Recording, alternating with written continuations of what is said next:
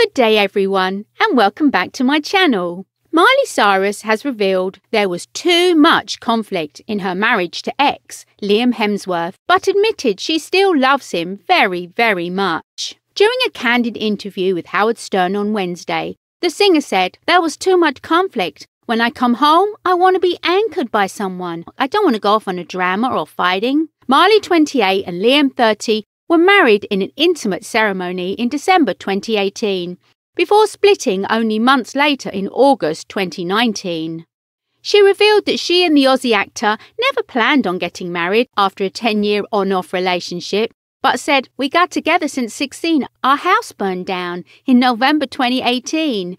We had been like engaged. I don't know if we really ever thought we were actually going to get married, but when we lost our house in Malibu, which if you listen to my voice pre and post fire, they're very different, so that trauma really affected my voice. She said, I was actually in South Africa, so I couldn't come home and like my animals were tied to a post at the beach. I lost everything. I had Polaroids of Elvis, like front row, passed on from. I, I got a couple grandmas to give me these Elvis Polaroids. I always became friends with my friends' grandmas so I could get the goods from the artists I loved. I had so much and it was all gone. Every song I'd ever written was in that house. Every photograph of me that my parents had given to me, all my scripts, I lost everything. And so, in trying to put that back together, instead of going, oh, nature kind of did something I couldn't do for myself, it forced me to let go. I ran toward the fire. Miley told Stern, which is not abnormal.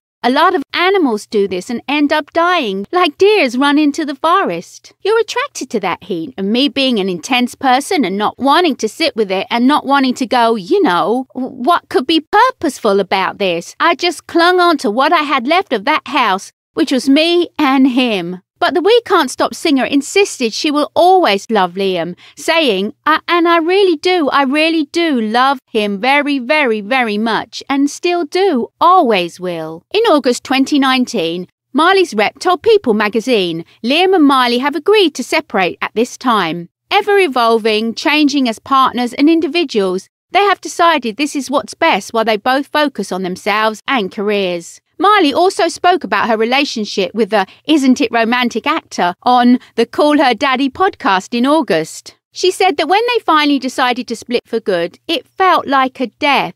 I had a very public, very big upbreak that was over a 10 year span for a relationship. It's like a death when you lose a love that is deep. It feels like a death she confessed. She added, honestly, sometimes death even feels easier because with a breakup, the person is still walking on the earth. Since their split, Liam has been in a relationship with Australian model Gabriella Brooks, who he began dating in December last year.